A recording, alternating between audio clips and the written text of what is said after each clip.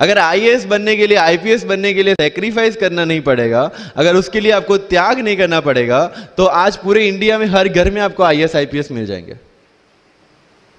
So when you are entering in this game of UPSC और MPSC make sure that you have to sacrifice anything which will take you to your goal लेकिन problem ये है कि हमें tension होती है, यार, दोस्त की एंगेजमेंट है, उसकी बर्थडे पार्टी है, उसकी शादी है अटेंड नहीं करूँगा तो बोलेगा, मैं तेरी शादी में नहीं आऊँगा एंड ऑल एंड ऑल लेकिन बिलीव मी जब आप आई बन जाओगे, वो सामने से याद दिलाएगा, भाई इनविटेशन कार्ड नहीं भेजा तूने.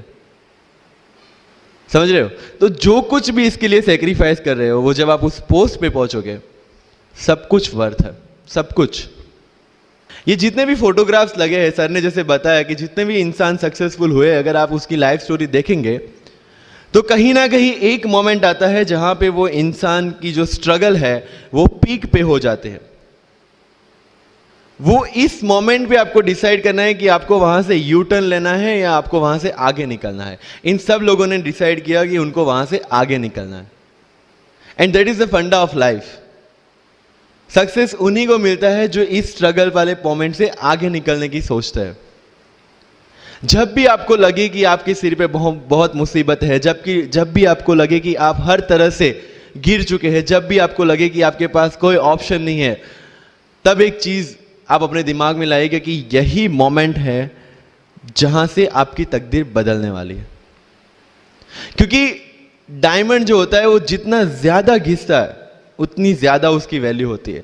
सोना जो होता है, वो जितना ज़्यादा तपता है, उतनी उसकी वैल्यू होती है। अगर आप ज़िंदगी में तप रहे हैं, अगर आप ज़िंदगी में घिस रहे हैं, अगर आपको लग रहा है कि आप हर तरह से मुसीबतों में गिरे हुए हैं, तभी आपकी जो वैल्यू है, वो बढ़ने वाली है। और यही मेरा एटीट्यूड रहा है। लोग बोलते हैं कि तुम्हारी फाइनेंशियल कंडीशन ठीक नहीं थी। पापा इलेक्ट्रिशियन थे, मम्मी हाउसवाइफ थी डायमंड के कारखाने में काम करती थी। उसके बाद उन्होंने मैरिज में रोटियाँ बनाने का काम किया और उस तरह से मैं पढ़ा। लेकिन जब मुझे पूछा जाता है कि ऐसी कौन सी चीज़ है आपकी लाइफ में जो आप बदलना चाहते हो आई सेड नथिंग क्योंकि वो चीज़ें नहीं होती मेरी लाइफ में तो शायद आज आपके सामने में नहीं होता। अगर लाइफ में प्रॉब्लम्स है, अगर लाइफ में स्ट्रगल है, जैसे सर ने बताया struggle is part of life and I strongly believe in that क्योंकि अगर हम दिल्ली में थे, मेरे दोस्त के साथ में निकला बाहर घूमने तो बोलता है, यार, ऐसी लाइफ चाहिए, कोई मगजमारी नहीं। आराम से बैठते, पूरे दिन एसी वाले कमरे में बहुत सारे पैसे है और कोई टेंशन नहीं। ऐसी लाइफ चाहिए मुझे। मेरा मेरे पास ऑप्शन है। बोलते क्या? बोला, देख, सामने एटीएम का रूम दिख रहा है। एसी वाला कमरा है, बहुत सारे पैसे, कोई मगजमारी नहीं, जॉब ले ले। क्यों आई एस आईपीएस में दिमाग खराब कर रहा है? अगर स्ट्रगल नहीं चाहिए तो you have to compromise with that life जब भारत वर्ष का सपना चंद्रगुप्त ने देखा, चाणक्य ने देखा, और उस भारत वर्ष को बनाने के लिए जब ये संघर्ष जारी था, और तब नंद के राजा सॉरी राजा धनानंद की डॉटर दूरदराज से चंद्र चंद्रगुप्त को प्यार हो जाता है। और जब चाणक्य उनको बोलते कि नहीं, तुम्हें उससे दूर रहना है। और तब चंद्रगुप्त बोलता है, आचार्य कभी कभी सोचता हूँ कि ज़िंदगी में या ये भारत के सम्राट बनने के लिए इतना त्याग, इतना बलिदान ना देना होता तो। और तब चाणक्य रिप्लाई करते हैं तो हर कोई भारत का सम्राट होता। This is the fundamental rule of life UPSC सिर्फ़ आपका नॉलेज चेक नहीं करता। Make it very clear in a mind जैसे सर ने बोला it's a game of wisdom आपको पहले ऑफिसर बनना पड़ेगा यहाँ से।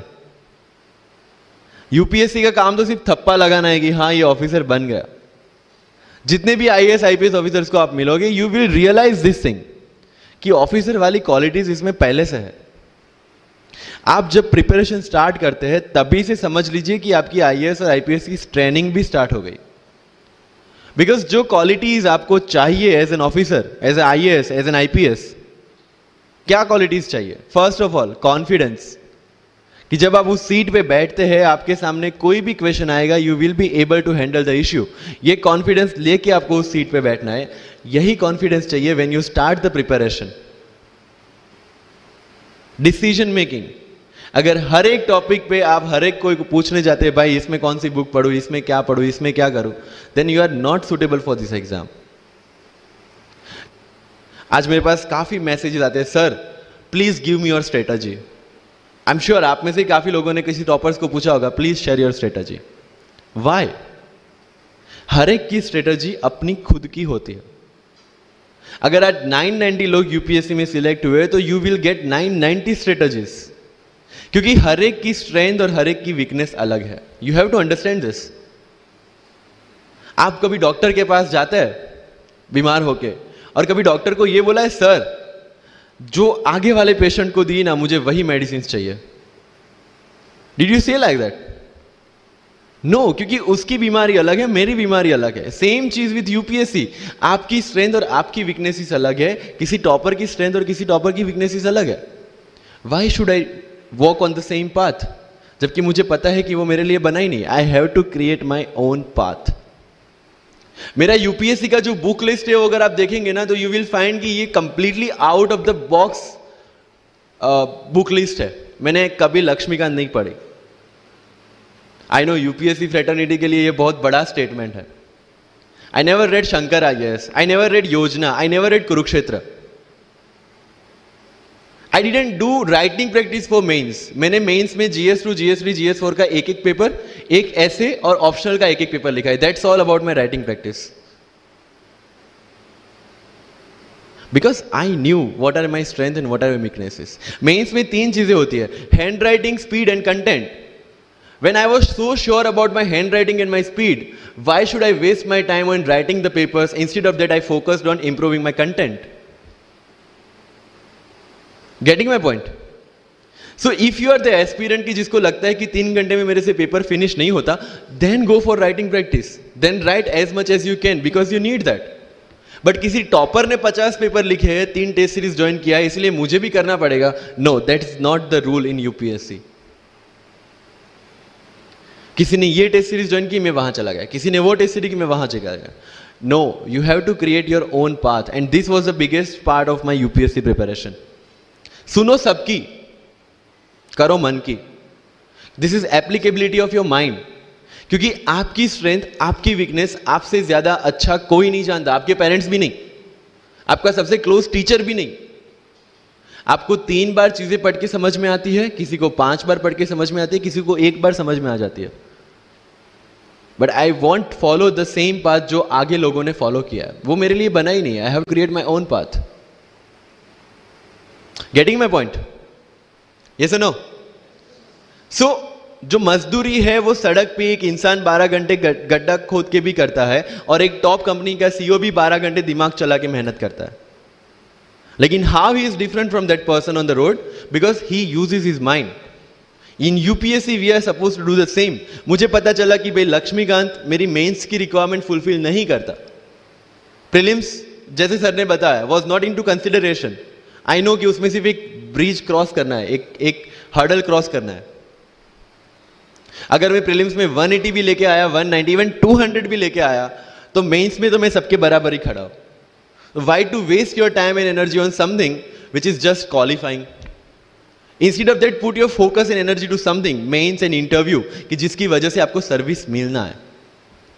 Good marks in mains ensure that you are the list good marks in interview ensure that you got get the service of your preference prelims is about quality mains is about quantity prelims में always मेरा target एक ही था, जो भी test में देता था, जो भी मैं सॉल्व करता था I just need to cross 120 that's all जितना सेफली मैं 120 क्रॉस कर लेता था I put the paper aside क्योंकि आज तक यूपीएससी का कट ऑफ़ कभी 120 से ऊपर गया नहीं और जाने वाला नहीं है. That was very clear in my mind so minimum risk लेके मैक्सिमम आउटपुट लेना, वो प्रीलिम्स का काम था.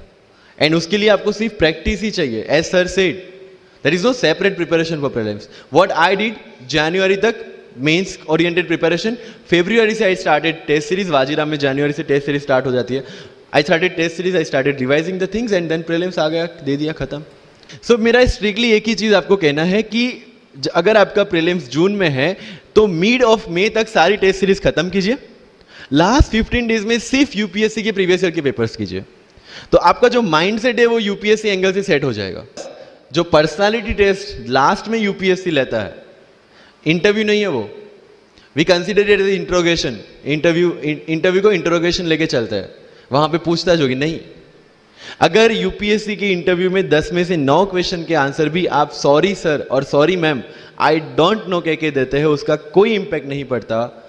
इंपैक्ट पड़ता है वो नौ क्वेश्चन न आने का प्रेशर आप कैसे हैंडल करते हैं? आपके पसीने छूट जाते हैं या आप वही टेम्परामेंट के साथ इंटरव्यू कंटिन्यू करते हैं? मार्क्स उस चीज़ के। मार्क्स है आपकी सोच के।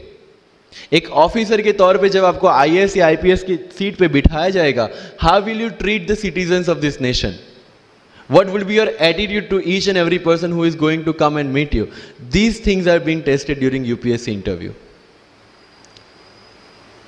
और इस सारी जर्नी में अगर सबसे इंपॉर्टेंट कोई चीज़ है तो that is your learning attitude और not for UPSC for life even because when I am speaking in front of you in Hindi and English to be very clear I belong to rural background of Gujarat और मेरा study जो हुआ है वो पूरा Gujarati medium में हुआ है गवर्नमेंट स्कूल में। ट्वेल्थ तक का स्टडी मेरा गवर्नमेंट स्कूल में हुआ है, गुजराती बोर्ड में, गुजराती मीडियम में। And yet I can give my UPSC interview in English in Delhi and score such marks where did it come from कहाँ से आता है यह मुझे अभी भी याद है, मेरा college National Institute of Technology Surat था। जहाँ पे मेरे साथ जो पढ़ने वाले बच्चे थे वो सारे सीबीएसई एस e, वाले थे। और मैं एज ए एलियन वहाँ पे पहुँचा था क्योंकि तब मुझे पता चला कि मैकडी जैसा भी कुछ है और उसमें बर्गर जैसा भी कुछ मिलता है। That was my first exposure to any metro city and जब मैं उनसे इंटरेक्शन इंटरेक्शन करता था और इंग्लिश बोलने की ट्राई करता था तो जैसे संजू मूवी में इंग्लिश दिखाया गया है गुजरातियों का जो ज़ीरो को ज़ीरो बोलते हैं उसी तरह I was also like that mother tongue influence आ जाता है. It's very obvious so I use to speak notes and note notes or door and not door or don't and not don't so they use to make fun of me सफिन it's not don't it's don't okay fine I had two option इधर I stop speaking English with them or improve on that and go ahead I did decide the second option When I started my preparation of civil services, जो English medium में करनी थी वाजीराम में मैंने coaching किया जहाँ पे पूरा इंग्लिश मीडियम में था। सारे सब्जेक्ट्स मेरे लिए नए थे। I started from the scratch I started from the English medium NCERT of standard five and six Gujarati dictionary Gujarati to English dictionary and then I started my preparation कभी कभी ऐसा होता था कि द हिंदू का पूरा एडिटोरियल पढ़ लिया और उसके बाद आई वॉज़ लाइक कि मैंने क्या पढ़ा? ये होगा सबके साथ होगा। बट उस जगह अगर आप टिक गए, उस जगह अगर आपने पेशेंस रखा, उस जगह आपने अगर सर्वाइव कर दिया तो इस एग्ज़ाम में भी सर्वाइव कर जाओगे। क्योंकि यूपीएससी की जो रेस है, उसमें कभी भी कछुआ, कभी भी खरगोश नहीं जीतेगा। इसमें जीतने वाला ऑलवेज कछुआ ही होगा, जो स्लो बट स्टेडी रहेगा। लग जाते हैं, पाँच साल भी लग जाते हैं, सात साल भी लग जाते हैं, नौ साल भी लगे हैं लोगों को एग्ज़ाम क्लियर करने के लिए। लेकिन बिलीव में जब रिज़ल्ट आएगा ना तो वो सारा सेक्रीफाइस आपको वर्थ लगेगा। आप पढ़िए लोगों के इंटरव्यूज़ मैंने क्या किया? कॉलेज के चार साल में, I went through each and every interview of UPSC toppers on YouTube. Ira Singhal से लेके टीना डावी मैम तक सबकी इंटरव्यूज़ मैंने देखे। For what just to know कि उन्होंने ऐसी कौन सी गलतियाँ की थी जिससे इनको इतना टाइम लग गया और मुझे कौन सी गलतियाँ रिपीट नहीं करनी है? क्योंकि चाणक्य ने कहा है कि दूसरों के एक्सपीरियंस से जो सीखते हैं ना, वो जल्दी आगे आ जाता है। क्योंकि खुद सब कुछ अनुभव करके सीखने के लिए ज़िंदगी काफ़ी छोटी है। आई डिड द सेम चार साल में हर एक टॉपर का इंटरव्यू देख लिया। चीज़ें समझ ली कि ऐसी कौन सी चीज़ें जो इन सबने की है और ऐसी कौन सी चीज़ें हैं जो गलतियाँ हैं जो इन्होंने की और जो मुझे रिपीट नहीं करनी है? सो so, जब युद्ध के मैदान में हम उतरते हैं इस चक्रवी में उतरते हैं तो अभिमन्यु की तरह नहीं अर्जुन की प्रिपरेशन के साथ उतरना है कि हमें पता होना चाहिए कि इससे बाहर कैसे निकले I did the same college के चार साल इंटरव्यूज़ देखे ब्लॉग्स पढ़े समझा कि इसमें कॉमन मिनिमम क्या है। वो जो कहानी अगर आपने सुनी हो कि शार्पनिंग द एक्स रोज अगर आप पेड़ काटने के लिए जाते हैं तो you have to sharpen your axe otherwise day by day आपकी जो एफिशिएंसी है, वो कम होती जाएगी. Four years in my college I sharpen my axe जिससे एक साल में मुझे कहीं पे रुकना ना पड़े. This was the strategy